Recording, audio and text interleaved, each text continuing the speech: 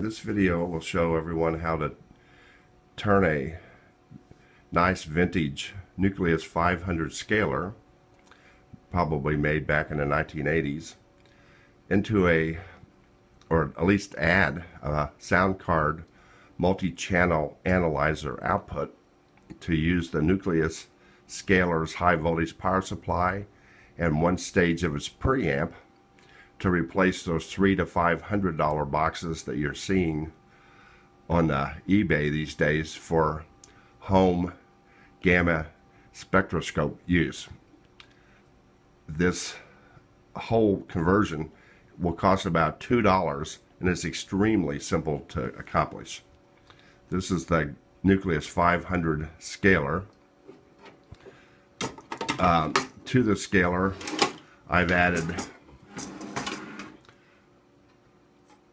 a simple RCA chassis mount audio output connector and I've added a C connector to the uh, MV whatever it's called connector on the back uh, so I can use different kinds of probes on it. The conversion is real simple. All you need is a 50 cent 0.01 microfarad disc ceramic capacitor and it's connected to the output stage of the first preamp. It's soldered in at the junction of the 2.7k ohm resistor, the 0.005 microfarad capacitor that goes to the base of Q2. The base of Q2, the 0.005 microfarad capacitor, and the 2.7k ohm resistor that junction is where you solder in the 0.01 microfarad disc ceramic capacitor. And I'll open this up, give you a look here.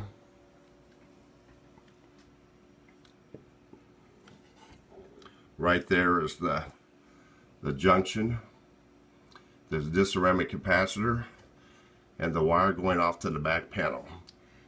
Less than $2 worth of parts and you have a multi-channel analyzer output which uses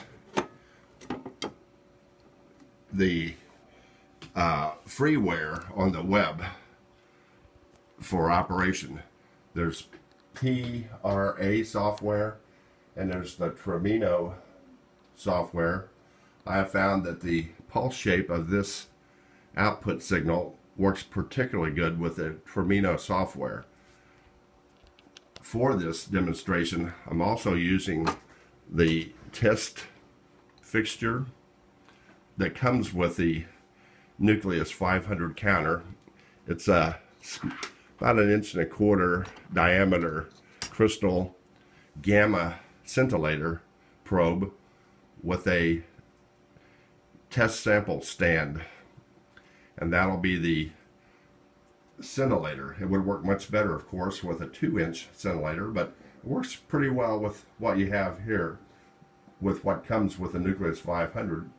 And you get pretty good results, as you'll see in my next video. I'm going to stop this video because I don't know how to pause anything here, and uh, I'll start up a new one in just a second.